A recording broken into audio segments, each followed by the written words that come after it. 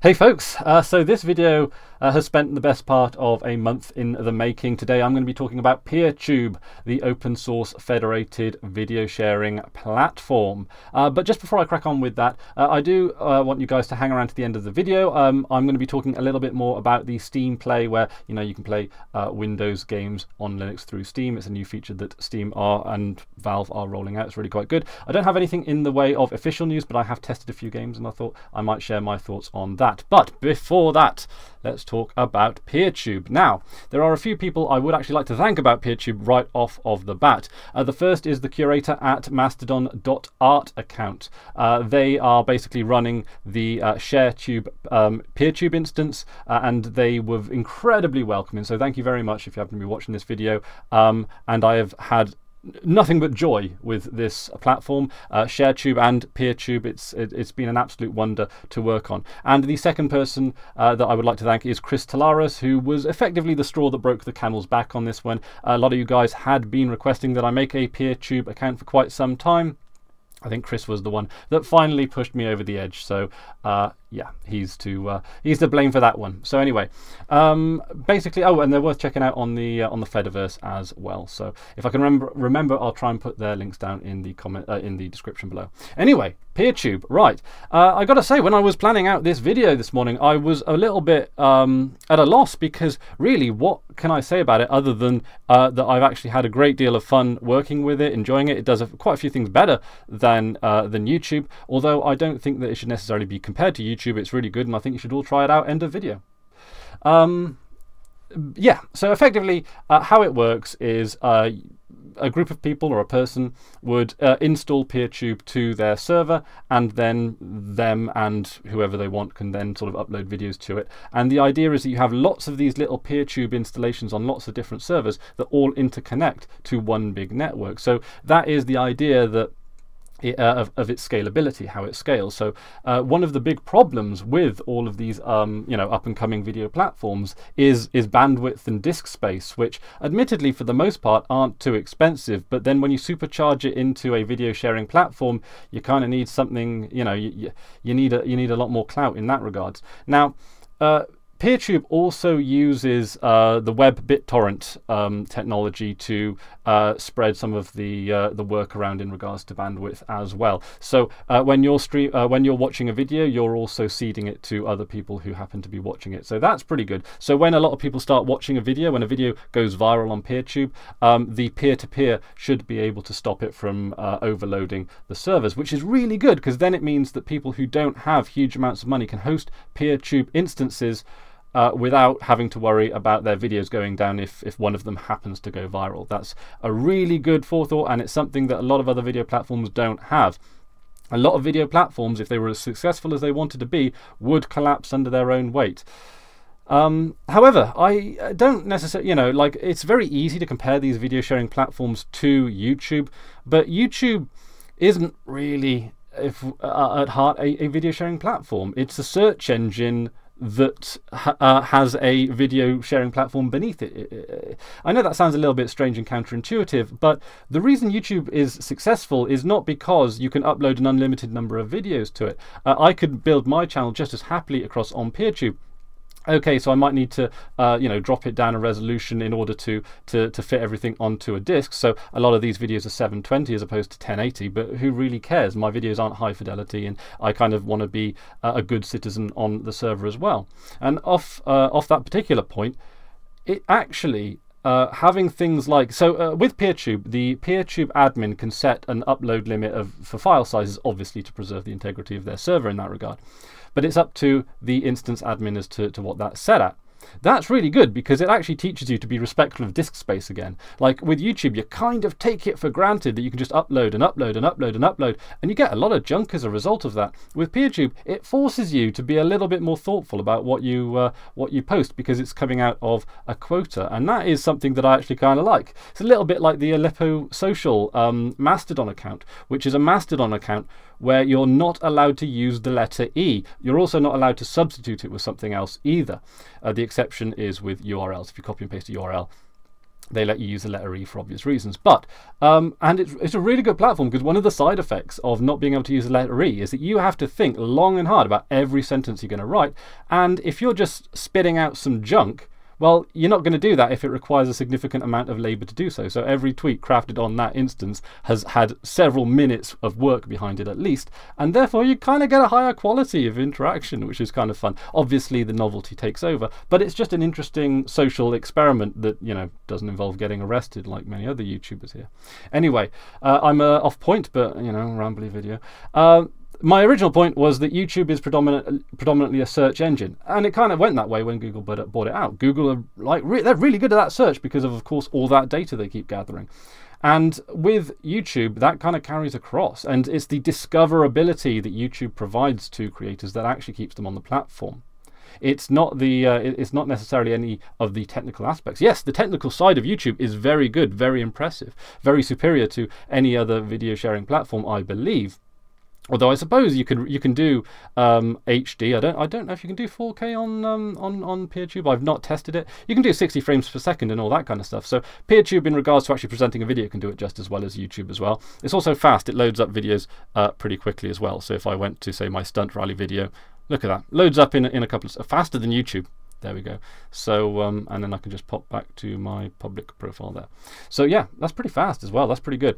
So, um, but yeah, it's all about the discoverability on YouTube. I I could build this channel on, I could build it on PeerTube, I could build it on Dailymotion, I could build it on what used to be VidMe or anything else, even on something like Twitch, you know, with the VODs. You know, you can build a channel in a, in a lot more places than just YouTube, but getting your videos watched, hmm, that's the thing.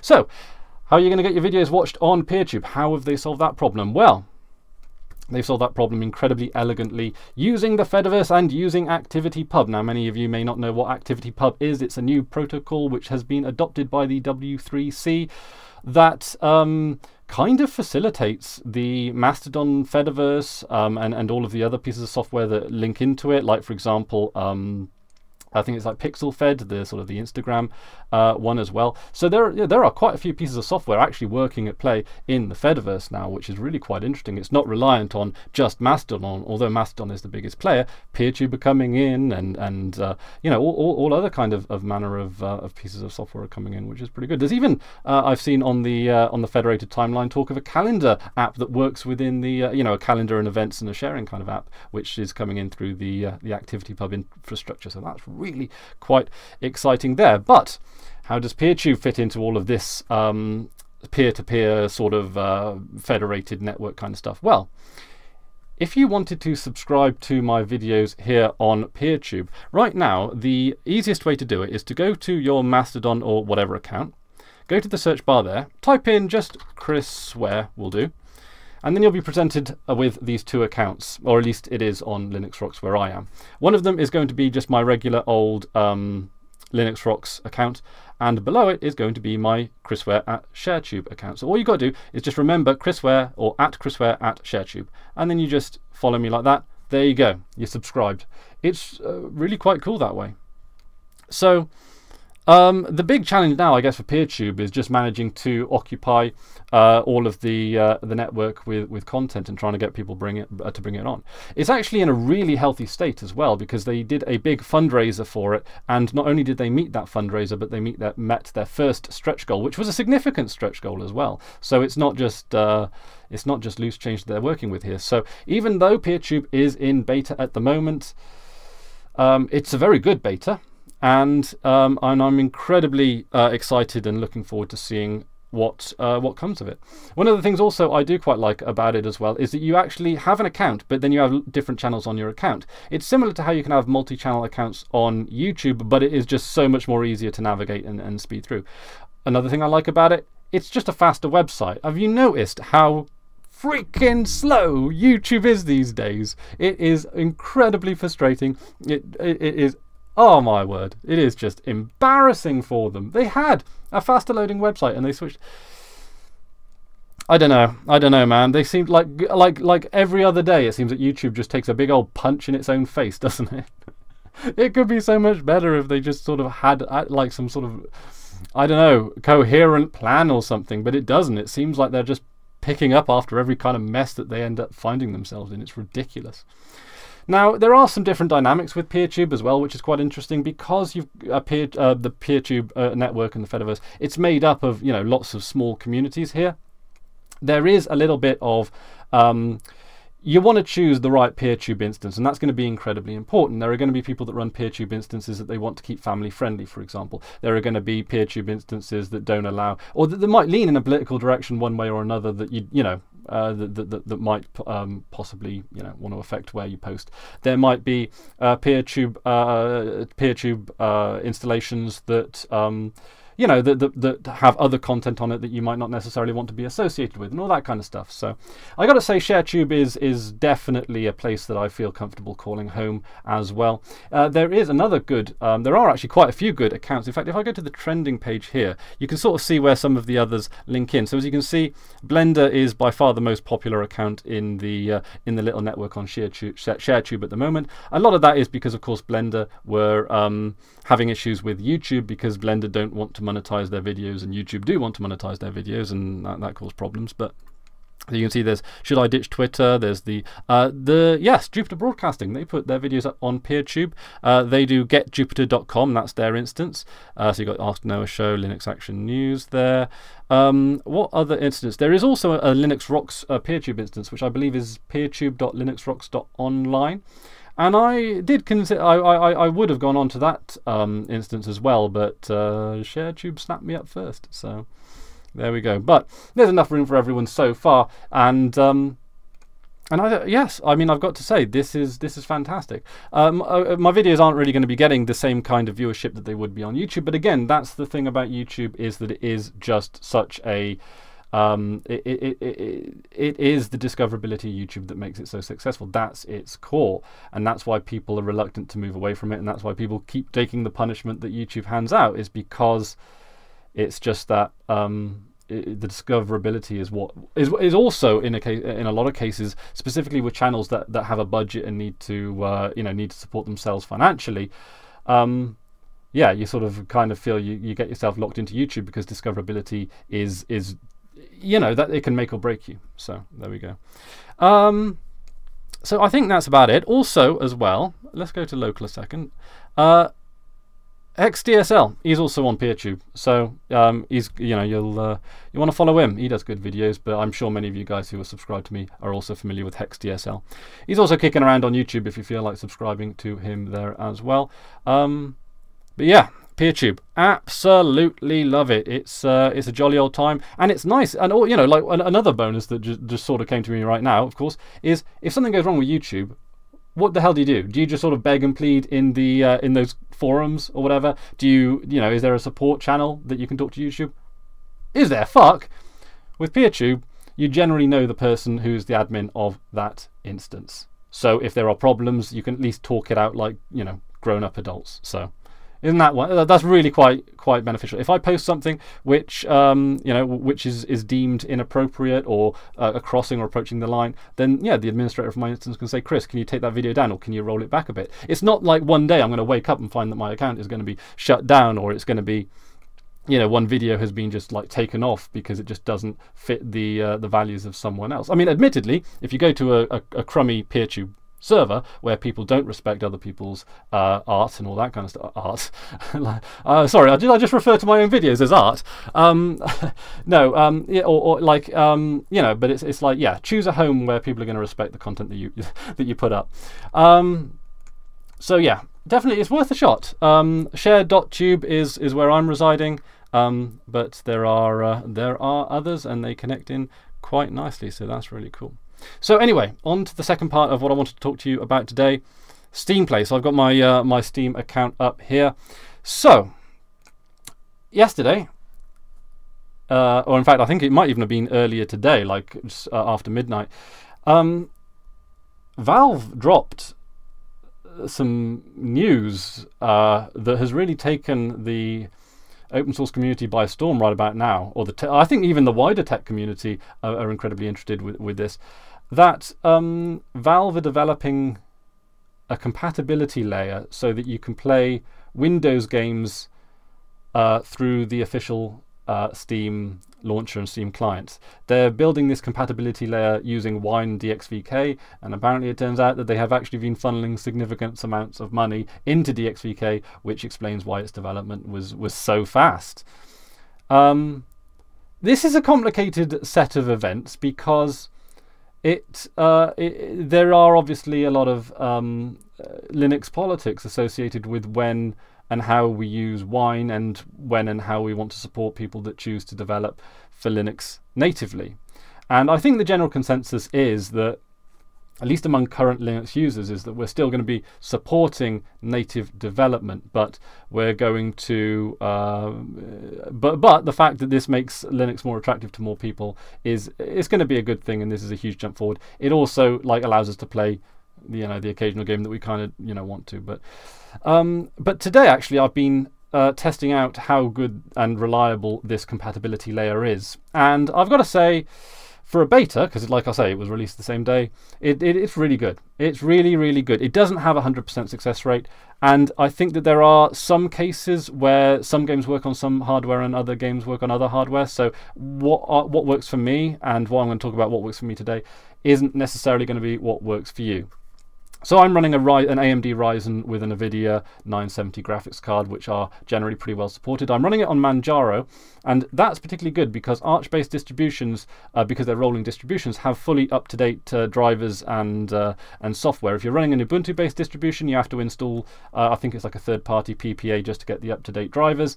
Um, from what I have seen, that isn't a problem, but with um, Arch, all you've got to do is you go into your Steam settings, uh, and you have to uh, select that you're going to opt into Steam Beta, so you're going to get the Steam Beta version of the Steam client, and then you have to go into the settings again into in the Beta client just to select that you want to be able to play Windows games on Linux and that it is a beta. So, uh, the games that, uh, to be honest, I think out of my personal library, which is predominantly games before uh, 2012, um, it has about a 60 to 70% success rate, which is really quite good. There aren't that many games that half work. So um, Skyrim, for example, works, but uh, there is no dialogue, for example. Um, and there have been a few problems with sound on a couple of games. So, for example, uh, with Hitman Codename 47, uh, it works perfectly, but there is no music. So these are um, minor things which I, to be honest, expect to be worked out over the course of a time. You know, again, remember this is beta, so every time you see something that doesn't work, don't think that this is all doomed to fail. Um, the fact of the matter is, this beta is very, very, very, very promising. Right, the problems that I see are solvable, and if so, so I'm fine with that. Um, the games that don't work, I got the list here. The ones, and this is again just for me because I happen to know that although GTA 3 and GTA Vice City don't work for me on the official Steam client, they do work for me in Wine. Uh, they have worked for other people in on that have been talking about it on Mastodon. So GTA 3 and Vice City, they don't work for me, but they do work for other people. So it might be a hardware issue. It might be that I just have to, you know, mess around with an INI file or something like that. Hitman Absolution. It's the one Hitman game that doesn't work. Um, not entirely sure why, but I don't even think I managed to get that working on Wine, but I'm not entirely certain. Monopoly is another one that doesn't work for me. Um, and actually, the fact that the, the, the Monopoly, uh, Oblivion, and Morrowind actually don't work. They sort of boot up, but then they sort of crash or hang or something early on. And that's actually quite interesting because all of these are games that actually um, I, I, haven't. Monopoly is for some reason I just installed it because I, I had it and I don't really mind. You know, that's just Monopoly. Um, Oblivion and Morrowind they actually don't work, even though they work really well on Wine. My gut behind why this is the case is might have something to do between behind DXVK, because when I play um, Oblivion and Morrowind, when I play them in Wine uh, with my own wine client, with my own wine setup, uh, they work fine, but I don't use DXVK. So my, my, my hunch is that DXVK might be the culprit behind a few of these. I also tested APB Reloaded. I don't know if you're familiar with that. That's a free-to-play game. Uh, that has a lot of online stuff. So um, that is unlikely to work. In fact, APB Reloaded uh, I remember being an absolute nightmare to get working on Linux. But I think that's about it for me. So GTA 3, GTA Vice City, Hitman Absolution, Monopoly, APB Reloaded, Oblivion, and Morrowind. I think for the most part. But the games that do work, so I've got here Uh, I got Deus Ex uh, Game of the Year edition, Invisible War. I've got Human Revolutions. It doesn't necessarily it doesn't run as well as it did on Windows, but again, I'm expecting this to to improve over time. Um, this is the Fall, uh, Deus Ex: The Fall. Considered the worst Deus Ex game, I got to say. I, I kind of got a bit of enjoyment out of it. It's only about two hours long, I think, maybe three. Um, Deus Ex Mankind Divided, I ended up installing that, completely forgetting that it was Linux native. Uh, Morrowind and Oblivion, yeah, we talked about those, those don't work. Uh, Fallout 3 works. Fallout Shelter works, which is a nice free to play game, so I might crack on with that at some point. Fallout New Vegas works. Um, with Fallout New Vegas, there is a mouse acceleration issue. Uh, when you're, you know, when you're using your mouse, if you move your mouse, it just the acceleration's a bit like uh, hyperactive. So there are a fair number of guides online that uh, can tell you how to turn off mouse acceleration, and then you've got perfect perfect performance there. Uh, uh, Grand Theft Auto San Andreas, and uh, again, one of the reasons why I'm led to believe that some, you know, the discrepancies might have something to do with DXVK, is because uh, San Andreas works, but it uses a different graphical. Uh, I think it uses a different graphical engine or a higher version of DirectX or something in in that ballpark. So. Uh, there we go. Uh, Hitman TM is, is native. Hitman Code 47 works but without the music. Hitman 2 works perfectly. Contracts works perfectly. Contracts works really well actually. It works. It's indistinguishable from native, if you ask, I think, and it even picks up the um, my um, 16 by 10 resolution. Blood Money works. Star Wars Battlefront 2, the 2005 version works. I was enjoying it earlier today. That's a really damn good game. I forgot how good that was. In fact, I think uh, years ago when I was playing it, I was playing it on the PlayStation 2. Uh, my word, is that a fun game. And the graphics. Have they updated the graphics or something like this? Because it looks, it, you know, that like, like, those are good graphics. I mean, it's 2005, so graphics weren't too bad back then. But that's a, that's a nice looking game. Uh, runs like a dream. Lots of fun. And uh, I believe Star Wars Battlefront 2 is on their list of games that they uh, they that they have um, you know geared this towards. There is a list of games that um, Valve say are supposed to you know that have been tested and are supposed to work with this new compatibility layer. I've not even had a look at this list. I've just been so hyperactive. I just jumped in and just tested what I've got in my library because to be honest, you know, coming back down to earth for a second here, as much as this feels like Christmas Day.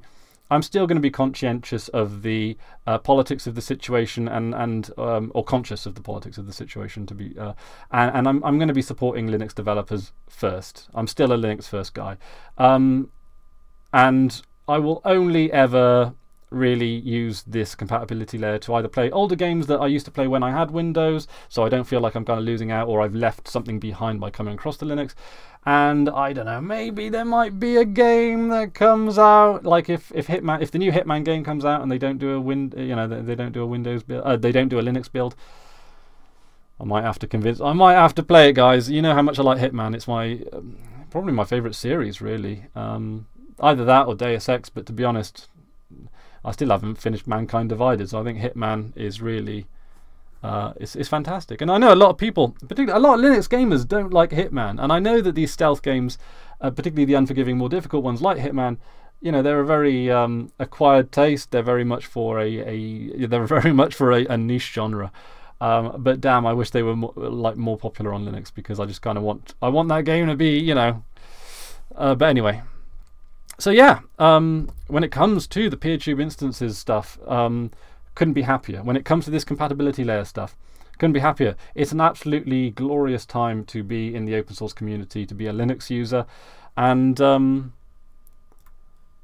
uh, yeah, and all that kind of stuff. Exciting bloomin' times, and this is just the beginning of it. This is day one of the beta of the compatibility layer. PeerTube still in beta lots more, um, you know, and with that funding, lots more development to go. My God, the future is bright. So anyway, guys, uh, I'm gonna I'm gonna let you go now. Um, apologies for the rambles, but uh, yeah. Um, I'm also going to leave some videos. I'm going to do that thing where I stand to the side and maybe point. Uh, so what sh what should we do? I'll put some uh, some some some more like Linuxy rambly videos up here, and I'll do the the non open source game reviews there, just so you know, it's that kind of stuff. Um, and um, yeah. Oh, sorry. I, I, I keep I keep drifting into it. So anyway, okay. Anyway, I've been Chris Were. You've been awesome. Take care now.